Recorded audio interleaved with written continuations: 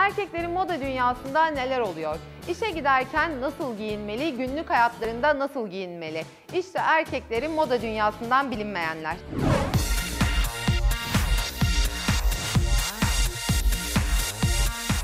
Erkek modası yavaş yavaş dönüşmeye başlıyor. Erkeklerin gardıropları değişiyor ve renkleniyor. Özel dikim son günlerde oldukça moda. Özel dikime dair her şeyi Ömer Ağa'ndan öğreneceğiz. Çok şık gözüküyorsun. Teşekkürler. sağ ol. Erkeklerde stilin önemi var mıdır? Aslında stilin bence bir cinsiyeti yok. Dünya ünlü bir tasarımcının sözü var. Moda geçici, stil kalıcı.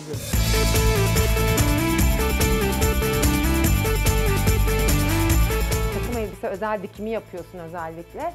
Ee, genelde yaş ortalaması nasıl takım elbise tercih eden insanlarda? Gençler de tercih ediyorlar mı? Aslında e, 25 üstü diyelim. Gençler bu aralar revaçta evet. Özellikle düğün sezonu.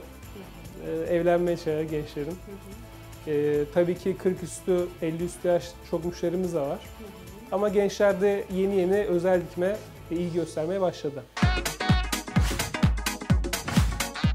Gençler genelde e, sana geldiklerinde bir takım elbise diktirmek istediklerinde hangi renkleri tercih ediyorlar? Yön veriyor musun onlara? Aslında şöyle, e, biraz da tanımaya çalışıyorum müşteri ilk etapta. Yaptıkları meslekleri öğreniyorum. E, Hayat tarzlarını öğreniyorum. Ona göre yönlendiriyorum. Vücut proporsiyonu önemli midir takım elbisede? Ee, kiloluysak ya da çok zayıfsak nasıl e, takım elbiseler tercih etmeliyiz? Aslında şöyle, proporsiyon e, bütün e, giyimimize dikkat etmeniz gereken bir şey. Herkes kendi vücudunu tanımalı, bilmeli, ona göre e, giyinmeli. Mesela kısa boylu birisi ekose desenlerde uzak durması lazım. Çünkü bu onu daha da kısa gösterir. Veya kilolu birinin ekoseden uzak durması lazım. O da onu daha fazla kilolu gösterir.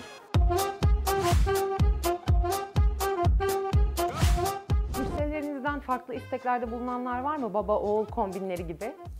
Evet aslında bu biraz şeyle başladı. Bir tane ünlü bir mayo markasının baba oğul e, bilirsiniz. Mayoya çalışıyorlar. Ondan sonra Short insanlar da kombinleri. evet ondan sonra o algı da oluştu. Neden olmasın? Aynı şeyi giymeyelim. Baba oğul takım yaptıranlar oluyor kombin.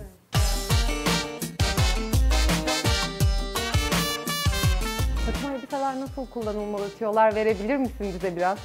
Mesela kruvaze bir ceket giyiyorsanız üzerindeki gibi e, en alt düğmeyi iliklememeniz gerekiyor. Aslında bu önemli bir detay. Genelde evet, Evet. hepsini ilikliyorlar.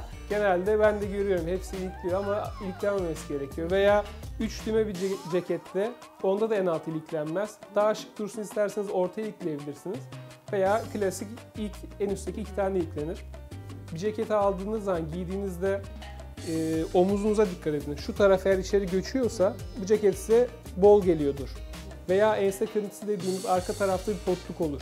Ona dikkat edin aynı da. O olduğu zaman kesinlikle oradan bir tadilat için birini çağırın, düzelttirin.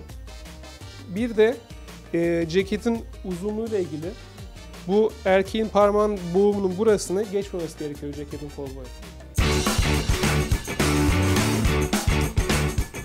Kolunda bir aksesuar görüyorum senin de. Ee, Evet. Çok güzel gözüküyor gerçekten. Erkekler de kıyafeti tamamlamak için aksesuar kullanmalı mı? Aslında e, erkeklerin bilinen eskiden beri klasik aksesuarları nelerdir? Saat, kemer, mendil, kravat.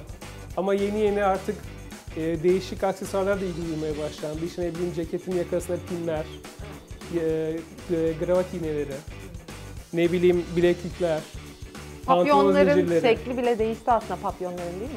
Papyonların şekli daha da büyüdü. Eskiden klasik ufaktı. Şimdi de artık el yapımı büyük papyonlara geçildi.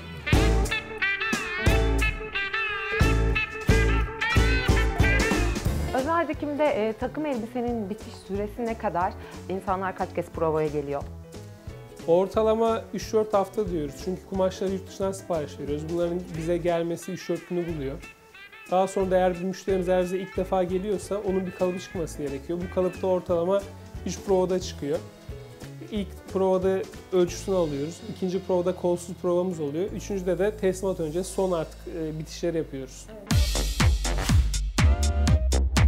Erkeklerde kombinlerinde renk uyumu olmak zorunda mı? Nasıl olmalı? Bize tüyolar verir misin?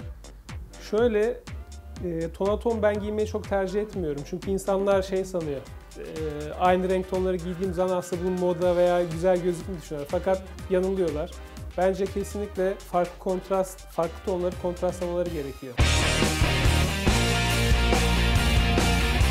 Erkek modası ve özel dikime dair her şeyi Ömer Ağam'dan öğrendik. Başka bir konuyla görüşmek üzere.